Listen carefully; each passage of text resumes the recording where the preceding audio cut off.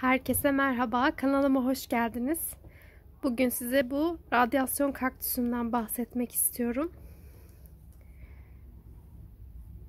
Ee, bazı yerlerde bu kaktüse aynı zamanda peri şatosu da deniyor. Yanlış bilmiyorsam radyasyon kaktüsü ve peri şatosu kaktüsü aynı kaktüs. Şöyle bir sürü minik minik yavru verdi. Hatta daha çok yavru vermişti. Bazı yerlerindekiler kırıldı maalesef. Rüzgardan ve fırtınadan şöyle göstereyim. Bazı yavrular koptu ve aramıza veda etti. Arkadaşlar bugün bu kaktüsü çok eğildiği için şöyle bir kurdeleyle bağlayacağım. Daha fazla eğilip deforme olmasını istemiyorum. Böyle düz bir şekilde uzamasını istiyorum çünkü. Arkadaşlar kaktüsler güneşi seviyorlar. Sukulentler gibi kolay kolay güneşte yanmıyorlar. Hatta size şöyle göstereyim.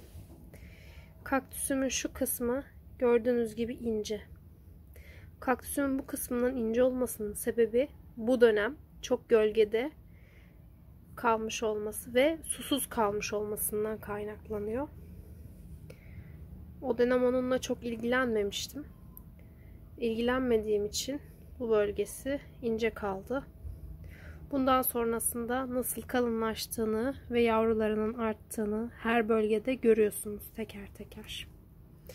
Şurayı göstermek istiyorum bir de size. Burayı kestim. Şöyle kellesini aldım yani. Ve şurası ben kestikten sonra uzadı komple. Bakın neredeyse bir parmak boyutunda. Hatta benim parmağımdan da biraz uzun. Görüyorsunuz. Hemen hemen 8 ay falan oldu keseli. Kestiğim kısmını da ektim. O da büyüdü. Onu da bir arkadaşıma hediye ettim. Arkadaşlar kaktüsler suyu sevmez diye bir şey yok. Kaktüsler aslında suyu oldukça severler. Ama kaktüsler böyle her gün her gün sulanacak çiçekler, bitkiler değillerdir. Kaktüsün toprağı kurudukça su vereceksiniz. Hatta toprağı kurusun, üzerinden 3-5 gün geçsin. Öyle sulayın ve bol sulayın. Şöyle göstereyim. Saksısının altı delik kaktüsümün. Kaktüsün sulaması suladığınız zaman kaktüsün altından şakır şakır sularının akması gerekiyor.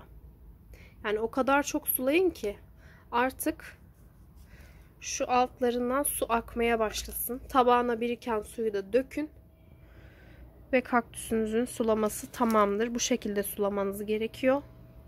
Ee, eksik sulamada görüyorsunuz kaktüs cılızlaşıyor ve cılızlaştığı yerden şu an eğiliyor mesela. Üst kısımları daha bakımlı, daha e, şişman olduğu için ayakta durmakta zorluk çekiyor kaktüsün.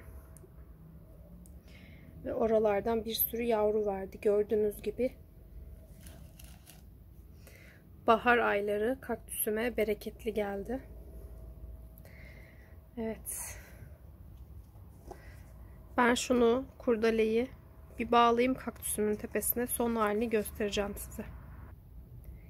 Evet. Gördüğünüz gibi kaktüsümün kurdelesini bağladım. Çok güzel bir şekilde büyüyecek inşallah.